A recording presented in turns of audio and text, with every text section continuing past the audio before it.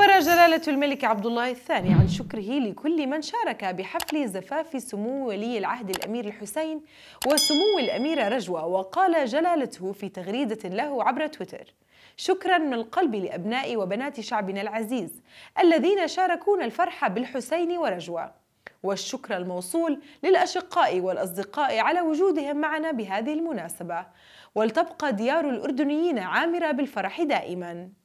وبهذه المناسبة البهيجة هنأ رؤساء وممثلو الكنائس في الأراضي المقدسة الأردن وفلسطين جلالة الملك وجلالة الملكة وعموم الأسرة الهاشمية والأردنية الواحدة بزفاف الأمير الحسين والأميرة رجوة متمنين لهما حياة زوجية سعيدة مكللة بالأفراح والمسرات وأضافوا نرافقهم بالدعاء دائما وعلى رأسهم جلالة الملك عبد الله الثاني الوصي الهاشمي على المقدسات الإسلامية والمسيحية في القدس الشريف متمنين دوام الأفراح في ديار الأردن عامرة.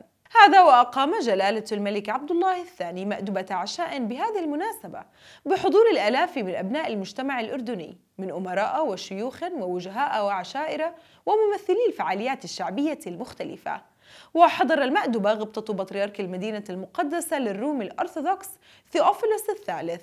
وغبطة بطريرك القدس للاتين بيير باتيسيا باتسابالا وعدد من الأساقفة والكهنة في الأردن وفلسطين.